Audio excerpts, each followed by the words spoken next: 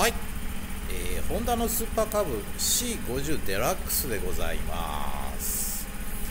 えー、年式がですね、えー、1997年式の C50 型でございます、えー、距離が1万3056キロ、えー、色はですね、えー、デラックスになりますのでアバグリーンメタリックとなっております。え光の加減でですね、え緑にも黒にも見えるちょっと不思議な色でございますね。はい、えー、C50 型ということになりますので排ガス規制のかかるこの後の A01 よりもですねちょっとだけパワーがあるという感じでしょうかね。はいこちらの車両なんですけども、え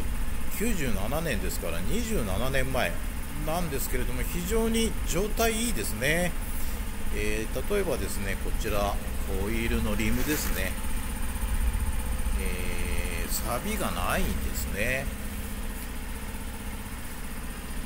ヘッドライトはこれ多分黄色に変えられておりますね。あとそれからレッグシールドとチェーンケースも変わってると思うんですけれどもご覧のようにリアのリムも錆がほぼないです。あと驚きなのはやっぱキャリアがすごい綺麗ですってことでしょうかね。はい。エンジンでございますね。ホンダの名機でございますね、えー、横置きの空冷短気筒 SOHC49cc、エンジンになります、えー、3速のロータリーモデルでございますね。こんな感じでございます。まあ、気になることは本当ないですよね、えー、まあ、3速なんですけどもね、えー、普通に市街地走るには問題ないかなと思いますね。はい、えー、あとそれからですね、えリアサスはこれ多分車外のものに変わっております。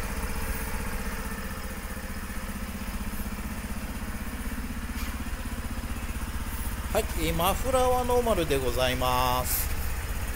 えー、こちらはね97年なんで、えマフラーガードがつく前のものでございますね。はい、えクラッチ周りでございます。エンジンも綺麗でしょ？はいこんな感じでございます。えー、気になるのはちょっとね、えー、このメーター周りのサビでしょうか。なんでここだけ出てるんでしょうかね。あとそれからフロントフェンダーにちょっと傷がございます。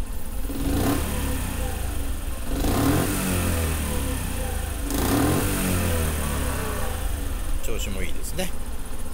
はい。えー、鉄株 C50 型のカブ50という形になります。え状態非常にいいですね、えー、なかなかこういうモデルも出てこないんじゃないでしょうか、えー、まあこのモデルですとでね、えー、普段の足とかですね、まあ、あとはカスタムしてちょっと遊ぶっていうのもいいんじゃないかなと思います、えー、あなたも株主にいかがでしょうか。